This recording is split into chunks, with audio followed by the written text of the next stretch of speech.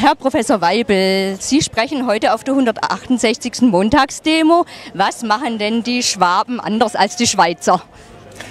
Ja, es gibt einen fundamentalen Unterschied. Das ist die direkte Demokratie, die wir halt haben bei uns in der Schweiz. Und die hat schon so manches überrissene Projekt dann gestoppt. Ja, jetzt ist ja hier in Stuttgart im Vorfeld leider anders gelaufen wie in der Schweiz. Hier gehen die Leute auf die Straße. Was haben die Schweizer damals gemacht? Ja, es hat auch einen großen Widerstand gegeben, aber dann kam die Volksabstimmung und das hat halt eine andere Bedeutung als bei Ihnen da. da. Äh, bei Ihnen war das eine Sonderübung und bei uns hat das eine unglaubliche Tradition. Es gibt dann äh, harte Kämpfe vorher, aber wenn der Entscheid einmal gefallen ist in der Schweiz, dann ist das doch die äh, Linie, an die man sich hält. Ja, da setzen sich auch die Kontrahenten zusammen und reden so lange.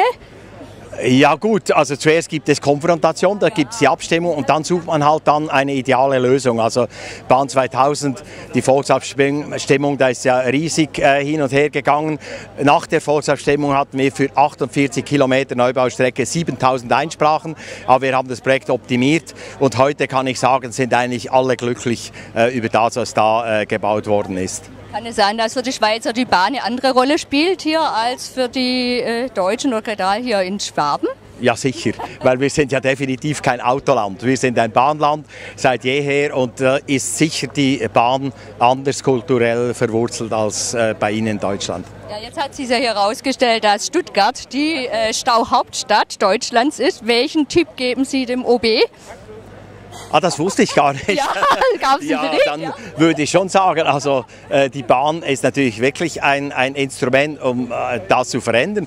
Ich war äh, da vor einer Stunde angekommen und war schon erstaunt, wie wenig Leute es eigentlich hatte auf dem Bahnsteig. Es war immerhin ein Intercity, der nach München ging. Also da hätte es bei uns in der Schweiz, ich würde sagen, mindestens Faktor 10. Aber Stau gibt es natürlich bei uns auch.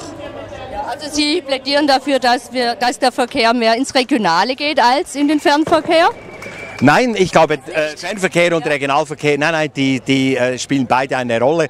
Und ich würde halt sagen, wir sind ein kleines Land und was bei Ihnen als Nahverkehr ist, ist bei uns halt vielleicht schon Fernverkehr. Also beispielsweise die, die am stärksten belastete Achse ist Bern-Zürich.